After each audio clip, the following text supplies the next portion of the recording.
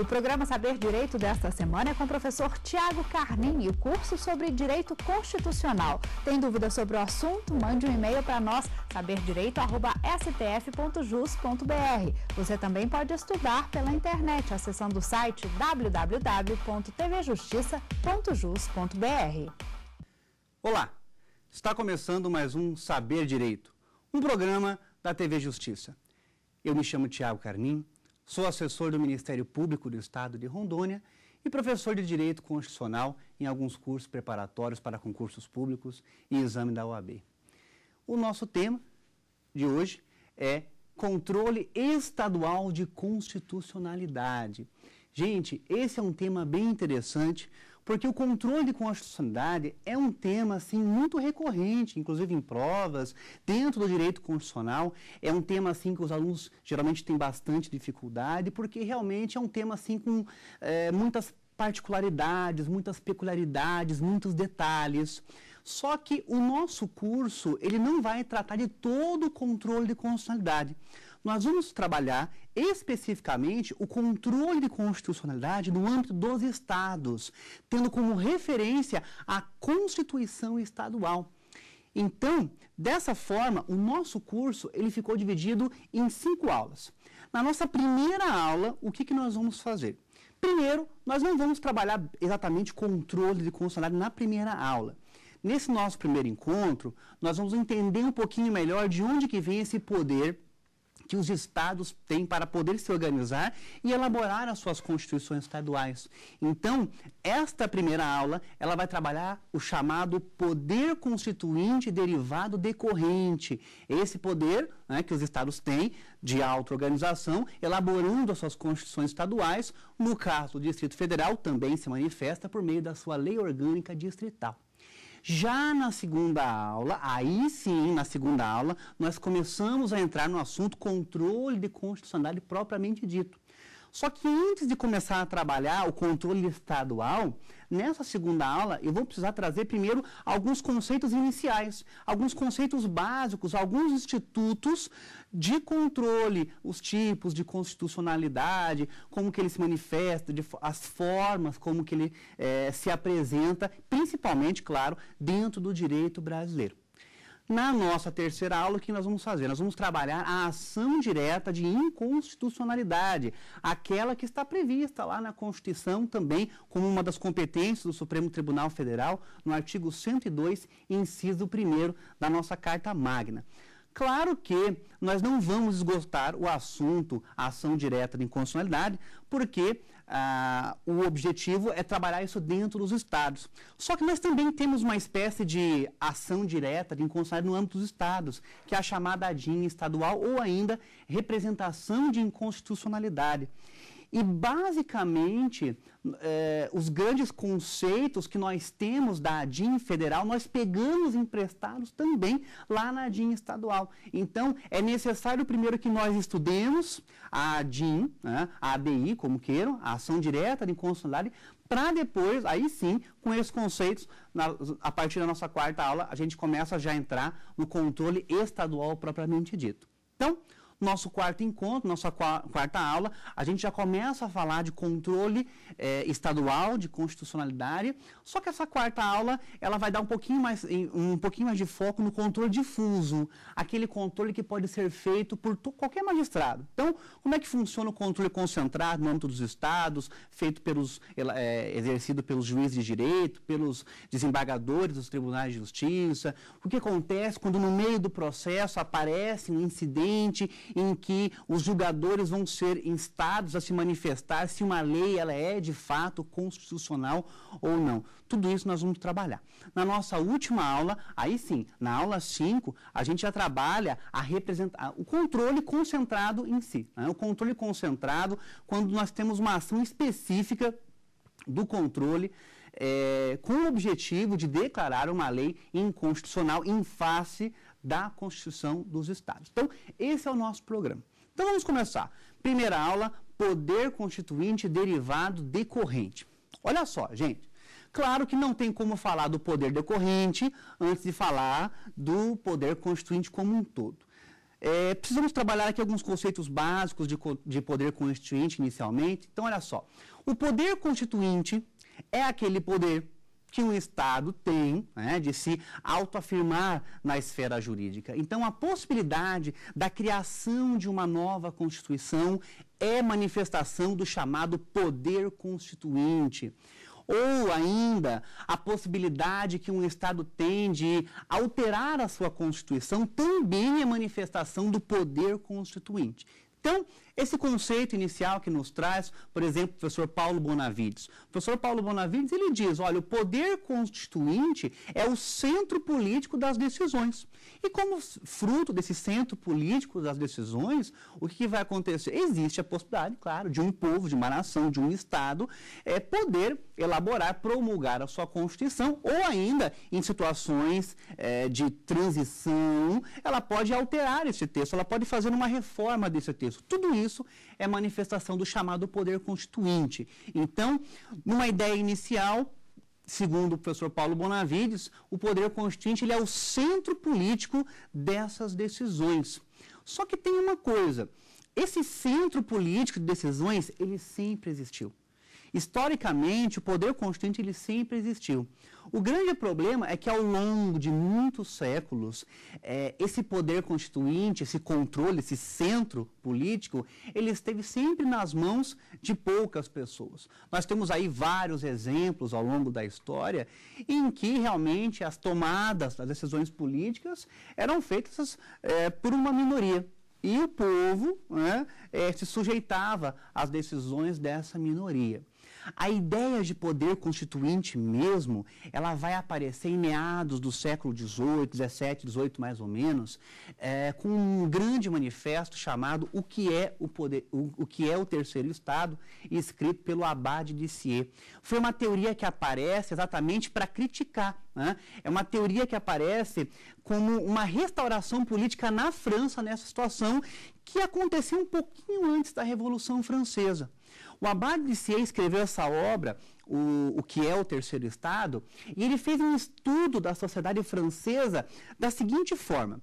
Olha só o que, que o Abad de Sier falou. Ele disse assim, bom, a sociedade francesa, o Estado francês, vamos dizer assim, ele, está, ele é constituído por alguns estamentos ou estados. Né? Então, é, basicamente, nós temos três grandes estados ou três grandes estamentos. Nós temos o primeiro estado, que é representado é, pelo clero, pela igreja. Temos um segundo estado, que é representado pela nobreza. E o terceiro estado, que é o povão, a, o, a plebe, o povo mesmo. Muito bem, primeiro estado, segundo estado e terceiro estado. Qual que era o grande problema? O primeiro estado representava o quê? Quase nada da população. O, o clero dava o quê? Meio por cento da população. Segundo estado, um pouquinho mais, mas também assim numa margem quase que insignificante. É, o segundo estado, ele basicamente tinha o quê? 1% e meio, reunia mais ou menos 1% e meio da população. Já o terceiro estado, aí sim, é, é onde que havia a concentração é, da população em si. Então, vejam, mais ou menos uns 2%, mais ou menos, né? vamos, fazer uma, um cálculo aqui bem, é, bem superficial. Mais ou menos uns 2% da população compreendia o, compreendia o primeiro e o segundo estado. Só que quem tomava as decisões? o primeiro e o segundo estado. Então vejam, foi isso que o Abade de Sier falou: não, isso não pode acontecer. As decisões políticas devem ser tomadas por todo o Estado e, de preferência, na proporção da parcela que representa a nação. Exatamente por isso, porque o poder constituinte, foi a primeira vez que nós tivemos essa expressão, poder constituinte, o poder constituinte, a titularidade do poder é da nação. Então ele tem que ser exercido por quem representa a nação. Né? Então, essa teoria, é, é, essa, essa, essa, terminologia de poder constituinte, ela veio desenvolvida pela Barre de Sier, e aí ela inspirou alguns anos depois, a Constituição Francesa de 1791. Então, a ideia inicial de poder constituinte é basicamente essa. Mas olha só, gente, como que o poder constituinte ele vai se manifestar? O professor Ivo Dantas, ele dá um conceito muito interessante, que é o chamado é, hiato constitucional. Né? O hiato seria aquele buraco, aquela lacuna. Como assim esse buraco, essa lacuna? Esse ato constitucional é aquele momento em que o texto da Constituição, o conteúdo da Constituição, ele não condiz, existe um choque do texto da Constituição com a realidade. A realidade social é diferente daquilo que nós vimos no texto texto é, da Constituição e a prática não batem, eles não falam a mesma coisa. Então, diante dessa lacuna, diante deste momento que nós chamamos de hiato constitucional, alguns fenômenos podem acontecer para resolver essa lacuna. É, e esses fenômenos que podem acontecer podem ser assim dos mais agradáveis até os mais desagradáveis, como por exemplo um golpe militar, um hiato autoritário pode acontecer. É, Pode, pode acontecer assim uma revolução um pouco mais agressiva, uma revolução um pouco mais física, e por meio de um poder autoritário, haver a manifestação de um poder constituinte autoritário. Ou podemos também ter a hipótese de uma reforma na Constituição, uma alteração no texto para quê? Exatamente para poder adaptar o texto da Constituição à nova realidade. O conteúdo social, econômico, político está se alterando e a Constituição faz o quê? Ela tenta se adequar também. Uma outra possibilidade, um outro fenômeno que acontece durante esse ato constitucional é a chamada mutação constitucional. Essa mutação constitucional, ela também é conhecida como poder constituinte difuso e ela é trabalhada pelos autores da seguinte forma: isso é muito utilizado pelo poder judiciário, principalmente, sobretudo o Supremo Tribunal Federal aqui no Brasil. A mutação constitucional, ela é uma mudança, sim, da Constituição, mas ela não é uma mudança formal. Numa mutação constitucional, o que, que acontece? O texto da Constituição, ele permanece exatamente o mesmo. A sociedade mudou, os valores mudaram, mas o texto não foi alterado. O Congresso não teve a preocupação em alterar o texto, em adaptar o, o texto da Constituição com essa nova realidade. Então, o que, que vai acontecer? É, paulatinamente, progressivamente, o significado que o texto da Constituição ele tem, ele vai mudar. A interpretação da Constituição ela vai mudar. Então a mutação constitucional é isso. É a mudança da Constituição, sim, mas no seu sentido. O seu significado ele vai ser alterado. Claro que é, vários órgãos podem fazer isso, mas principalmente o Poder Judiciário ele é o principal responsável por essa manifestação da chamada mutação constitucional. Tá? Muito bem. Já vimos a mutação constitucional, o poder de reforma, inclusive até o chamado é, hiato é, de, que é feito de forma autoritária. Mas o que importa mesmo para a gente é uma outra forma de manifestação quando acontece essa lacuna, esse ato constitucional, que é exatamente o estabelecimento de uma nova Constituição, a chamada manifestação do poder constituinte originário. Num Estado democrático, quando isso acontece, nós estaremos diante do chamado momento constituinte, que foi o que aconteceu com o Brasil a partir mais ou menos de 1985, ali, com o final do regime militar, com a retomada, com o processo de redemocratização no país, nós, nós estávamos diante de um momento constituinte. Esse momento constituinte, ele é propício para quê? Exatamente para a manifestação de, geralmente, num país democrático, uma Assembleia Nacional Constituinte. Então, foi formada uma Assembleia Nacional Constituinte. Esta Assembleia Nacional Constituinte, ela é composta por representantes eleitos do povo e essa, esses parlamentares, esses membros da Assembleia Nacional Constituinte, foram responsáveis exatamente pela elaboração da nossa Constituição, pela elaboração da Carta Magna de 1988. Bom, gente, é, com relação a esse ato constitucional, eram essas as considerações que eu tinha para fazer. Agora, uma outra coisa importante, ainda dentro do conceito de poder constituinte, diz respeito à sua titularidade. Lembra que eu falei para vocês com relação ao manifesto da Abade de Sier, que o poder constituinte, a, a, titularidade do poder pertence à nação? Então, na verdade, o que acontece? É, o poder constituinte, o poder constituinte, ele tem como titularidade o povo. O titular do poder é o povo. Então, independentemente de quem vai se manifestar, quem vai representar o povo, a titularidade do poder é do povo. E esse poder, ele é exercido pelo povo de duas formas.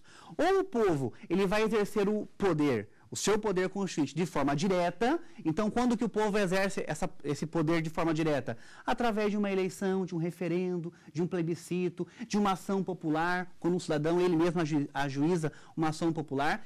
Essa é a manifestação direta do poder. Mas nós também temos uma outra manifestação, que é a chamada democracia representativa, a democracia participativa, que é aquela em que os representantes, o povo exerce o poder, só que de forma indireta por meio dos seus representantes, principalmente no executivo e também no legislativo. Então nós temos esses dois tipos de exercício do poder constituinte: o exercício direto, a chamada democracia direta, e a democracia indireta por meio dos representantes do povo.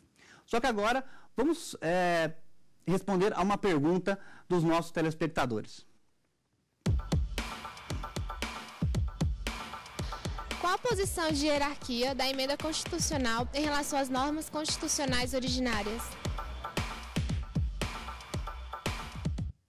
Olha só, essa pergunta ela é bem interessante, porque até então nós estamos falando do poder constituinte originário, né? então a possibilidade da elaboração de uma nova Constituição. Mas também existe, claro, nós vamos ver daqui a pouquinho, o poder constituinte derivado, quando a Constituição ela pode ser alterada e aí nós teremos a produção de uma emenda constitucional. Olha só, gente, é, a emenda constitucional, as normas constitucionais derivadas, elas têm a mesma posição hierárquica tá bom? Elas são fruto, né, elas derivam do poder originário, mas elas não estão numa posição de hierarquia inferior às normas constitucionais originárias. Isso aqui é bem importante. Nós vamos trabalhar a partir da nossa próxima aula que pode haver um controle de constitucionalidade, sim, das emendas constitucionais. Uma emenda constitucional pode ser, sim, é, considerada inconstitucional. A norma originária, não. No Brasil, é essa teoria que nós adotamos. Né? Ah, o texto originário da Constituição de 88 não pode ser considerado inconstitucional. Porém, tanto as normas constitucionais originárias quanto as derivadas, as emendas, todas têm a mesma posição de hierarquia. Tá bom? Bom, meus amigos, olha só. Depois, nós temos um outro ponto importante, que é exatamente esse poder constituinte originário. Então, é, falei também já da elaboração de uma nova Constituição, a manifestação desse poder constituinte originário, que é exatamente a possibilidade de um Estado poder se realmente afirmar a sua soberania, elaborando, promulgando a sua Constituição. E essa manifestação desse poder constituinte originário, ela tem algumas particularidades. Poder constituinte originário, ele, bom, ele é considerado, por exemplo, como um poder de fato, um poder político. Então existe, claro, estaremos diante de um momento constituinte, num Estado democrático, como nós falamos agora há pouco, a manifestação de uma Assembleia Nacional e, como fruto dessa Assembleia Nacional Constituinte, teremos aí uma nova Constituição. Esse poder constituinte originário, também conhecido como genuíno ou de primeiro grau, ele possui algumas características. Por exemplo, Poder constituinte inicial, ele é considerado como um poder inicial. Por quê? Porque ele inaugura uma nova ordem jurídica. Então, ele rompe com a, a ordem jurídica anterior e inaugura uma nova. É como se, em 1988, com a promulgação da nossa Constituição, o Brasil começasse do zero. Ali, naquele momento começou um novo Brasil. Juridicamente começou um, uma nova República Federativa do Brasil. Historicamente, é, geograficamente, historicamente, o Brasil ele não mudou, mas juridicamente ele mudou. Uma nova ordem jurídica começou. Por isso que o poder constituinte originário ele é considerado inaugural ou inicial, porque ele inaugura, ele rompe com a ordem anterior e ele é, inaugura, né, ele cria uma nova ordem jurídica. Outra característica do poder constituinte originário, ele é ilimitado. Então, o que, que o poder constituinte originário pode fazer? Gente, o poder constituinte originário, ele não está preso a ordens pré-fixadas do direito anterior. Ele pode fazer o que ele quiser. Uma nova Constituição poderia, por exemplo, estabelecer tortura? Poderia estabelecer tortura? Não é, é conveniente, claro, é, hoje num país democrático, mas é possível. É, é enfim, ah, por quê? Porque o poder constitucional, exatamente, ele é juridicamente ilimitado. Ele não está preso a estas é, amarras do direito anterior ao qual ele precedia. Outra característica é de que o poder constituinte ele é incondicionado. A forma pela qual ele vai se manifestar não existe. Não existe uma forma pré-fixada. Ah, o poder, a elaboração de uma Constituição nova tem que ser assim assado. Não, o poder constituinte originário ele vai se manifestar da forma que ele bem entender. Por quê? Exatamente porque ele tem essa característica de ser incondicionado. Além disso, esse poder constituinte ele é considerado como um poder permanente. Porque, na verdade, o que, que acontece? É, o titular do poder constituinte, ele é o povo. Está lá na nossa Constituição, no artigo 1 Artigo 1 da Constituição, parágrafo 1 desculpe, parágrafo único do artigo 1 da Constituição fala: o poder emana do povo. O titular do poder é o povo e sempre será o povo. O poder constituinte originário, ele é considerado permanente porque ele não se esgota por mais que a Constituição já tenha se manifestado, ele ainda vai existir. Existe a possibilidade, por exemplo, de ser elaborada uma nova Constituição, de repente, num outro momento, caso, caso haja um novo hiato constitucional, haja abertura aí de um novo momento constituinte, claro que existe essa possibilidade. Né? É, não seria muito interessante, mas existe essa possibilidade. Então, o poder constituinte originário, ele é considerado, sim, um poder permanente. Muito bem, gente. Essas são as considerações que nós tínhamos falar sobre o poder constituinte originário. Agora, eu quero conversar com vocês sobre, aí sim, o poder constituinte derivado. Gente, isso aqui é muito fácil. Poder constituinte derivado, ele tem esse nome exatamente porque ele deriva do originário. O próprio poder constituinte originário, ele faz o que? Ele faz previsão de futuras manifestações do poder constituinte de uma forma derivada. Então, nós vamos encontrar as manifestações do poder constituinte derivado principalmente nos artigos 60 da Constituição e também lá no DCT, no ato das, das disposições constitucionais transitórias, do seu artigo 3 nós também vamos encontrar ali uma manifestação, uma possível manifestação do poder constituinte derivado. O que, que diz o artigo 60? O artigo 60, ele vai falar sobre as emendas constitucionais. Então a Constituição ela pode ser alterada. É o chamado poder constituinte derivado reformador. Pode haver aí uma reforma na Constituição. E além disso, nós também temos lá no ADCT, no artigo 3 do ADCT, a, a possibilidade das chamadas emendas de revisão. Essas emendas de revisão, na verdade, elas já aconteceram no ano de 1993, mas elas puderam acontecer exatamente porque já existia uma previsão lá no texto originário de que pudesse ser feita esta revisão do texto constitucional. Agora, a principal forma de manifestação do poder constituinte derivado que eu queria conversar com vocês é exatamente o chamado poder constituinte derivado decorrente. Mas antes de falar do decorrente, vamos entender aqui algumas características de como que o poder derivado ele vai poder se manifestar. Então, olha só, existem algumas características do poder constituinte derivado que se contrapõem ao poder constituinte originário. Eu falei para vocês que o poder constituinte originário ele é inicial, né? ele é inaugural. Já o poder constituinte derivado, não. Ele é subordinado. O poder constituinte derivado não pode fazer o que ele quiser. Então, o Congresso Nacional pode elaborar uma emenda à Constituição? Pode, mas por quê? Porque o fundamento de validade está lá na Constituição. Os estados podem se organizar e elaborar suas constituições estaduais? Claro que podem, mas por quê? Porque existe previsão no texto da Constituição, lá no artigo 11 do ADCT, lá no ato das disposições constitucionais transitórias, no seu artigo 11, a Constituição Federal, ela dá a possibilidade para que os Estados membros possam se organizar por meio das suas constituições estaduais. Então, o fundamento de validade é, do poder derivado está na Constituição, está no poder originário. Além disso, uh, o poder constituinte derivado ele é limitado.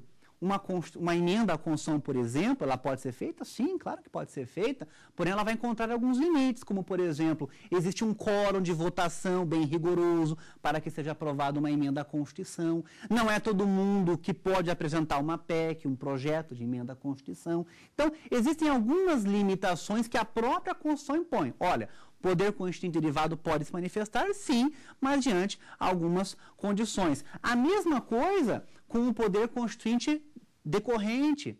Os estados podem elaborar suas constituições? Podem, mas eles devem respeitar alguns princípios básicos, alguns princípios que estão expressos lá na Constituição. Os estados têm que respeitar o princípio do federalismo, a república, enfim, os direitos fundamentais. Existe uma série de princípios que estão na Constituição Federal e que devem sim ser respeitados, devem ser observados pelos estados na manifestação. Bom, Além disso, o poder constituinte derivado ele é condicionado. Eu falei para vocês que o originário ele é incondicionado, ele se manifesta da forma que ele quiser. Mas o derivado não. O derivado ele é condicionado. A forma pela qual ele se manifesta já está pré-estabelecida lá na Constituição Federal. Bom, gente, Feitas essas considerações, aí sim vamos conversar um pouquinho sobre esse poder constituinte derivado decorrente.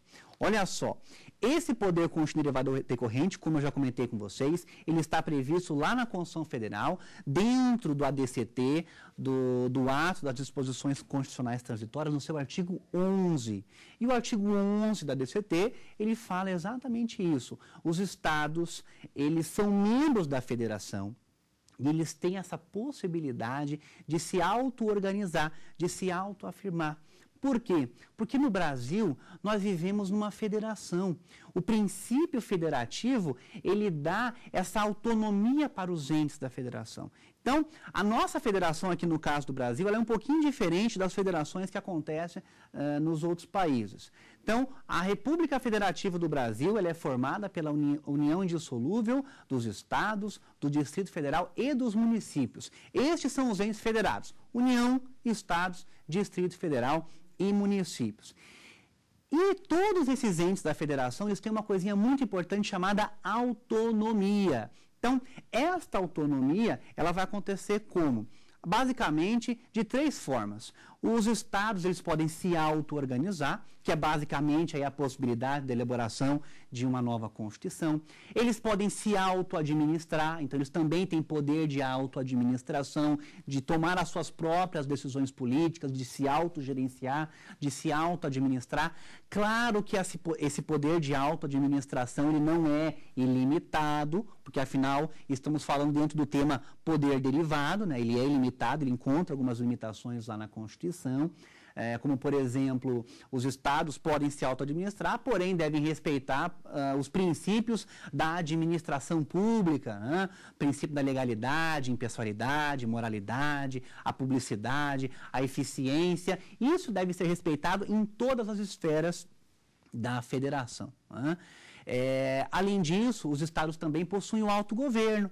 Eles, o, a própria população do estado é quem elege o governador, a própria população do município é quem vai eleger o prefeito, é, eles possuem poderes próprios, né? então nós temos um executivo estadual, temos um legislativo estadual, um judiciário estadual. Apesar de nós não termos um judiciário municipal, porque a nossa federação é um pouquinho assimétrica, mas mesmo assim, os municípios são sim considerados. É, entes da federação, eles possuem essa autonomia, porque a Constituição consolidou os municípios como entes federativos. Muito bem, olha só. É, eu falei para vocês que o poder constituinte decorrente, ele se manifesta, mas ele possui algumas limitações. Essas limitações estão lá na Constituição. É, o poder, os estados podem elaborar sim as suas constituições, mas eles vão precisar respeitar alguns princípios, como por exemplo, princípios sensíveis. Vocês vão encontrar esses princípios sensíveis lá no artigo 34, inciso 7 da Constituição Federal. Nesse artigo 34, inciso 7 é, estão os chamados princípios sensíveis, e eles têm esse nome de princípios sensíveis, eles são tão sensíveis, mas tão sensíveis, que o seu descumprimento autoriza a possibilidade de uma intervenção federal. Então vejam que isso aqui é muito grave. Esses princípios sensíveis estão lá no artigo 34, inciso 7 da Constituição Federal, como por exemplo, autonomia municipal. Se um Estado desrespeita a autonomia que o município tem, isso pode, pode chegar num momento, né, se a situação não tiver uma outra forma de solução, porque afinal a intervenção ela tem que ser realmente uma maneira muito excepcional, mas pode acontecer a União fazer uma intervenção naquele estado para que possa se restabelecer a normalidade e sejam respeitados todos os chamados princípios sensíveis. Olha só, gente, além dos princípios sensíveis, nós temos outros princípios que estão na Constituição, são chamados princípios estabelecidos ou princípios organizatórios. Então, princípios estabelecidos ou princípios organizatórios. Esses princípios estabelecidos ou organizatórios são as chamadas normas de observância obrigatória. Então, são normas que. É, podem, não só podem, como devem conter na, nas constituições estaduais. Por exemplo, nós temos uma regrinha lá na Constituição que diz que o presidente da República ele não pode se ausentar do país, do país sem a licença do Congresso Nacional por mais de 15 dias. Se o presidente ou o vice se ausentar do país por mais de 15 dias sem a anuência do Congresso Nacional, ele pode perder o seu cargo o Supremo Tribunal Federal vem entendendo que essa regrinha ela também se aplica obrigatoriamente aos prefeitos e aos governadores. É uma norma de observância obrigatória, uma norma de repetição obrigatória. Esses são os princípios organizatórios ou estabelecidos. Agora vamos para mais uma pergunta aqui dos nossos telespectadores. As limitações do poder constituinte da corrente são apenas as que estão expressamente previstas no texto da Constituição Federal? Olha só, essa pergunta é interessante. É, já que estamos falando de limitações do poder constituinte derivado da corrente, nós vimos, né, estamos vendo que algumas dessas limitações são expressas. Aliás, a grande maioria das limitações elas são expressas, mas nem todas. Existem algumas limitações do poder constituinte derivado decorrente que são implícitas. Então, por mais que não esteja expresso na Constituição, olha, o Estado, quando for organizar, quando for elaborar a sua Constituição Estadual, ele não pode fazer isso. Muito bem, tem que respeitar isso, isso e isso. Isso, esses são os limites, são as limitações é, expressas. Mas também existem algumas limitações implícitas. Geralmente, é, limitações é, muito relacionadas ao princípio federativo, Uh, outras limitações, por exemplo, com relação ao princípio da simetria. Tá? O princípio da simetria é aquele princípio que diz o seguinte: o mesmo, já que no Brasil nós temos uma federação, o mesmo tratamento que se dá à União obrigatoriamente tem que ser dado para os estados e para os municípios. Como, por exemplo, quem faz o orçamento da União é o presidente da República. Muito bem. O presidente da República é o responsável pela elaboração do orçamento dos três poderes da União: do Executivo Federal, do Legislativo Federal e do Judiciário Federal. Essa regra também se aplica aos governadores e aos municípios. Apesar disso não estar expresso na Constituição, é uma limitação implícita. É a chamada norma de repetição obrigatória é, em decorrência desse princípio da simetria, que nós também chamamos de princípio do paralelismo das formas.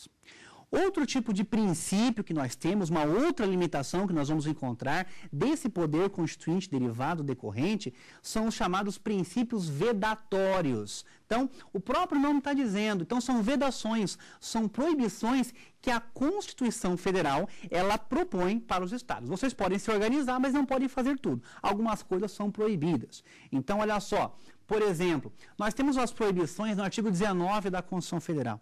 Esse artigo 19 ele vai dizer assim: os entes da federação, União, estados e municípios, eles estão proibidos, por exemplo, de recusar fé aos seus do, próprios documentos públicos. Então, o município não pode recusar um documento do Estado que tem fé pública, o Estado não pode recusar um documento da União que tem fé pública, então eles não podem recusar fé aos documentos públicos.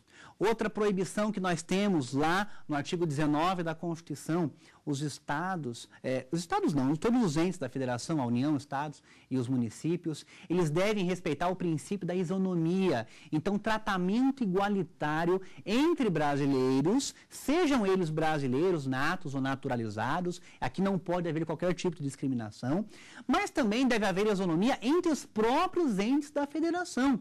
Então, olha só, exi exemplo, existem algumas competências legislativas que são só da União. Por exemplo, direito penal. Só a União pode legislar sobre direito penal.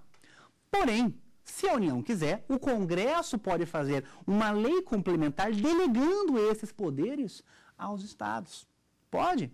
Pode. Só que o Estado, só que a União ela não vai poder delegar somente para o Estado X ou para o Estado Y. Não, tratamento isonômico. Se o Congresso, se a União vai delegar, tem que delegar para todos os entes da federação, tem que delegar para todos os estados. Uma outra proibição que nós temos é a proibição que os entes da federação têm de não manter é, alianças, vínculos com entidades religiosas, ou mesmo proibir, né, coagir o seu funcionamento em virtude do princípio da laicidade. Afinal, o Brasil, ele se promulga, né, ele se manifesta, ele se reafirma como um Estado laico. Então, com base nesse princípio da laicidade, é uma outra proibição que nós vamos encontrar lá no artigo 19 da Constituição Federal.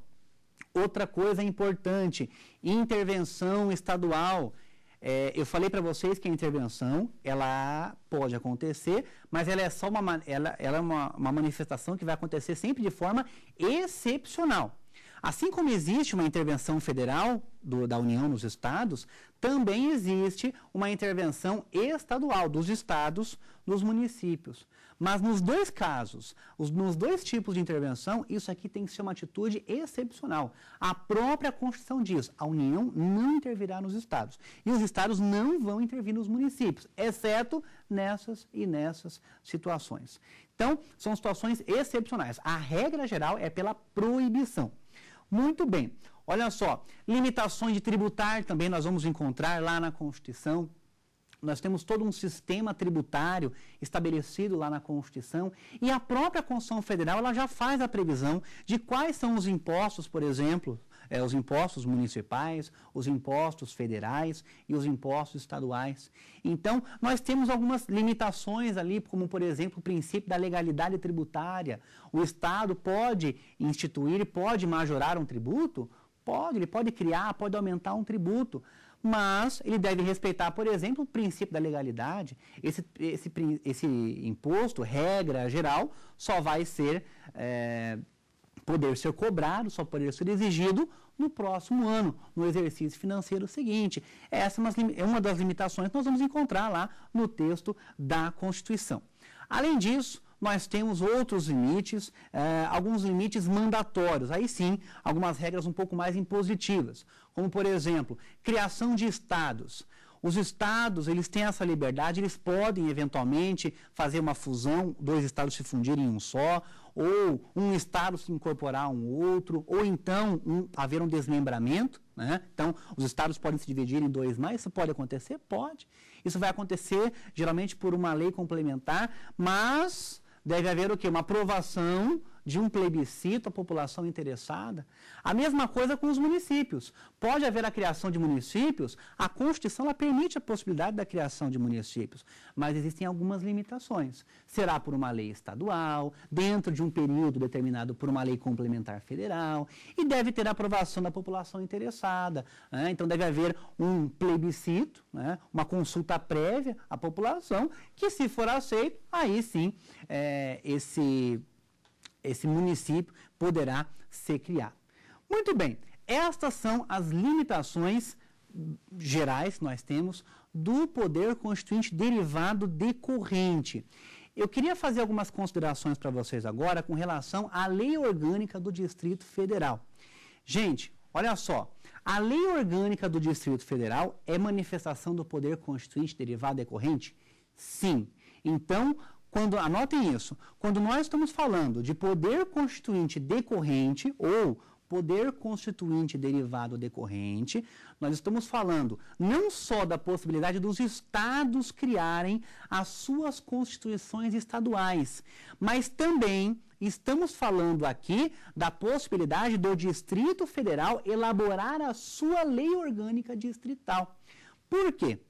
Porque, na verdade, o Distrito Federal ele reúne algumas competências. Né? E as competências que o Distrito Federal ele possui são exatamente as competências estaduais e as competências municipais.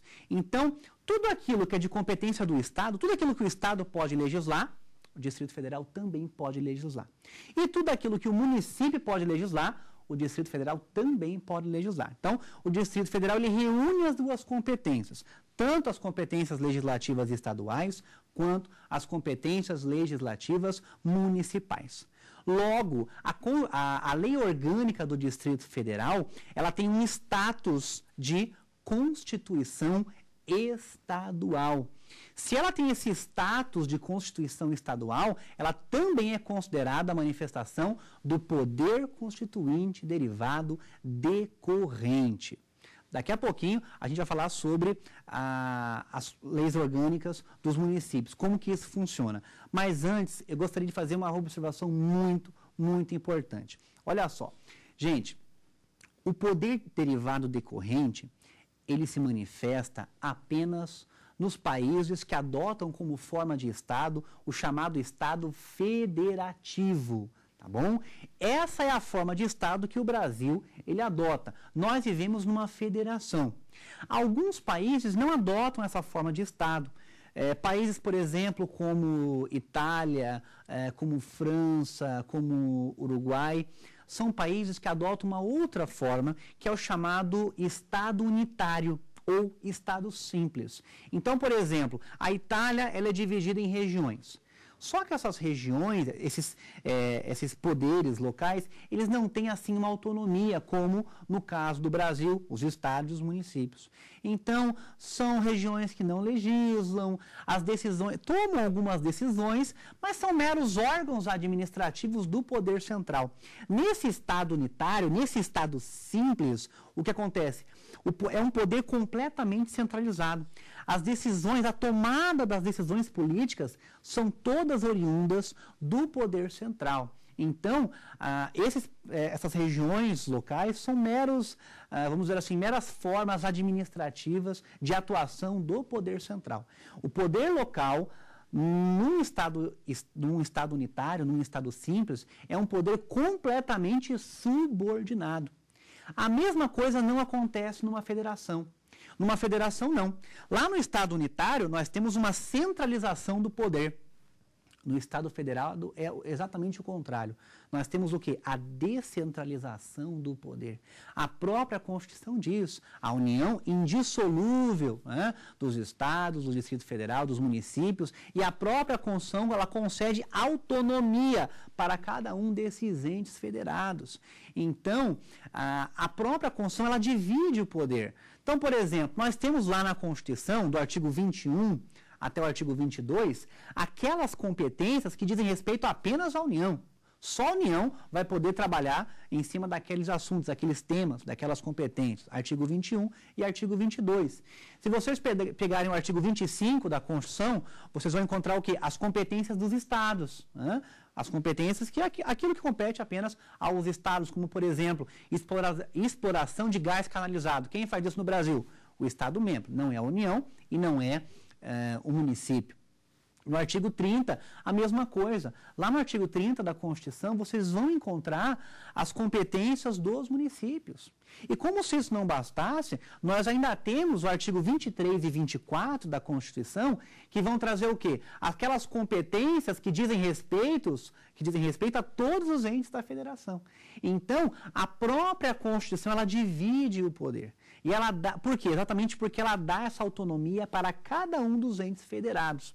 Então, se no Estado federado o, o, o Estado-membro ele tem autonomia, ele pode se organizar, ele tem essa auto-organização. Então, poder constituinte derivado decorrente, ele é típico, ele é característico dos estados federativos. Lá no Estado unitário, naqueles países que adotam aquela forma de Estado, não existe poder constituinte decorrente. Por quê? Porque o poder local não tem autonomia. Tá bom? Então gravem isso. Poder constituinte derivado decorrente é exclusivo dos estados que adotam a federação como forma de Estado. Muito bem, falamos da lei orgânica distrital. Agora eu gostaria de falar um pouquinho sobre a lei orgânica municipal. Olha só, gente, nós temos essa previsão, sim, lá no artigo 29 da Constituição Federal. É, o artigo 29 da Constituição Federal, ele traz a possibilidade dos municípios se organizarem com algumas particularidades, né, com algumas ressalvas, com, aliás, com várias limitações, tá bom? Mas antes de falar dessas limitações, vamos a mais uma pergunta aqui dos nossos telespectadores. Os princípios sensíveis a que a Constituição estadual se submetem são sempre expressos? Sim, os princípios sensíveis, esses devem ser expressos. Então, olha só, nós vimos agora há pouco que esses princípios sensíveis, eles podem gerar uma intervenção. Isso é muito grave. Numa federação, como eu falei para vocês, ah, os, entes da os entes, eles têm autonomia.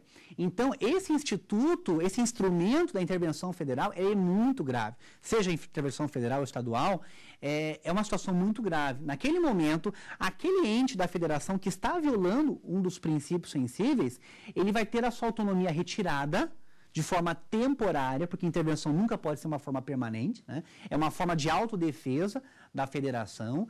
E aí o que, que vai acontecer? É... São tomadas algumas medidas, algumas medidas para se restabelecer a ordem. Se, no momento em que a normalidade pairar de novo sobre aquele ente da federação, é devolvida, acaba-se a intervenção e é devolvida a autonomia daquele ente. Então, aqueles princípios sensíveis que é, justificam uma intervenção federal, eles devem sim, esses sim devem ser expressos. Estão todos lá no artigo 34, inciso 7 da Constituição Federal. Então, nós não podemos ter limites, nós não podemos ter princípios sensíveis implícitos, porque imagine né, um Estado começar a entender: ah, não, eu entendo que isso aqui é um princípio sensível, mas de uma forma implícita. Vou fazer intervenção estadual num município. A mesma coisa com a federação, imagina a, a União querer, não, ó, vou fazer uma intervenção nesse estado porque eu entendo que isso aqui é um princípio sensível. Então, se os princípios sensíveis não estivessem expressos, nós teríamos uma insegurança muito grande, nós estaríamos muito propensos a, algumas arbitrariedades. Então, princípios sensíveis, esses sim, eles devem ser expressos lá na Constituição, tanto federal quanto a estadual. A Constituição estadual vai prever quais são os seus princípios sensíveis, claro, sempre tendo como base a Constituição Federal, mas ela vai estabelecer aí é, os seus princípios sensíveis que poderiam gerar eventualmente uma intervenção é, estadual. Para finalizar aqui é, essa parte toda de poder constituinte derivado decorrente, eu tenho aqui algumas considerações para fazer sobre a lei orgânica municipal. Então, nós vimos que a lei orgânica municipal, ela está prevista, a possibilidade dela acontecer, lá no artigo 29 da Constituição Federal, e eu até gostaria de destacar um trecho aqui desse artigo para vocês. Olha só, o artigo 29 diz o seguinte, o município reger-se-á por lei orgânica, votada em dois turnos, com interstício mínimo de 10 dias e aprovada por dois terços dos membros da Câmara Municipal, que a promulgará atendidos os princípios estabelecidos nessa Constituição, no caso da Constituição Federal, e também na Constituição dos seus respectivos estados. Então, olha só que interessante. O município pode se auto-organizar? Pode. Ele pode elaborar uma lei orgânica. Na verdade, o processo de aprovação da lei orgânica é, é o mesmo distrital. Né? É, para que seja aprovada uma lei orgânica, tem que, tem que haver o voto de dois terços do legislativo, então a Câmara Municipal daquele município tem que, tem que ter no mínimo dois terços de todos os vereadores. A votação é feita duas vezes, então nós temos dois turnos de votação, de, de votação, e entre uma votação e outra deve haver um interstício mínimo de 10 dias. Só que tem uma coisa: alguns autores costumam é, afirmar que a lei orgânica municipal não é manifestação do poder constituinte derivado decorrente. Tá bom? Então gravem isso. Poder constituinte derivado decorrente é a, é a possibilidade que os Estados membros, e aí, quando eu falo Estados membros, inclua-se o Distrito Federal, os Estados membros e o Distrito Federal se organizarem por meio das suas constituições estaduais ou, no caso DF, a sua lei orgânica. A a lei orgânica municipal não. Lei orgânica municipal não tem status de poder constituinte derivado decorrente, tá bom? Araújo Nunes, ele costuma afirmar que a Constituição não estendeu o poder decorrente para os municípios. É, nesse mesmo sentido, nós temos também alguns autores que dizem o seguinte: bom, o poder constituinte decorrente dos estados é um poder de segundo grau. É, para que haja esse, esse poder decorrente, ele tem que ter fundamento direto na Constituição. O município, quando legisla sua lei orgânica, ele está se fundamentando não só na Constituição Federal, mas também na Constituição Estadual. Então, ele tem dois fundamentos de validade. É como se fosse um poder constituinte de terceiro grau. E isso alguns autores não aceitam, não admitem. Então, a doutrina costuma dizer que a lei orgânica municipal não é manifestação do poder constituinte derivado decorrente. E em casos práticos, o que, que diz o Supremo Tribunal Federal? O Supremo Tribunal Federal ele é adepto dessa teoria. Então, para fins é, de estudos, de provas, eventualmente, o que, que vai acontecer? Para o Supremo, a lei orgânica municipal não tem status de poder constituinte derivado decorrente. O poder decorrente é só o poder que os estados e o Distrito Federal têm de se organizar, no caso da EF, por meio da sua lei orgânica, e no caso dos estados pelas suas constituições estaduais, tá bom? Então, isso é muito importante, por quê? Porque a lei orgânica municipal, ela não está hierarquicamente acima das demais leis municipais. A lei orgânica do DF, sim, porque ela tem status de Constituição estadual. A Constituição estadual está acima das leis municipais das leis estaduais, porque ela é considerada poder decorrente. A lei orgânica municipal não. Ela não está acima, é uma lei mais específica, sim, tá? Ela é uma lei mais específica, ela vai reger, claro, os princípios básicos do município, mas ela está na mesma, no mesmo nível hierárquico que a, a, as demais leis orgânicas, tá bom? Gente querida, basicamente é, esgotamos o assunto do poder constituinte derivado decorrente, tá bom? Nós ainda temos mais quatro aulas em que exploraremos, aí assim a partir da próxima aula vamos entrar no assunto controle de constitucionalidade propriamente dito. Nós, nós nos encontramos na próxima aula e bons estudos. Tem dúvida sobre o assunto? Mande um e-mail para nós, saberdireito.stf.jus.br. Você também pode estudar pela internet acessando o site www.tvjustiça.jus.br.